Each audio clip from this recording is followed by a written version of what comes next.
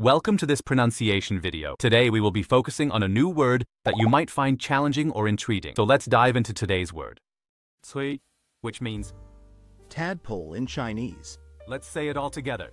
Cui, cui, cui. One more time.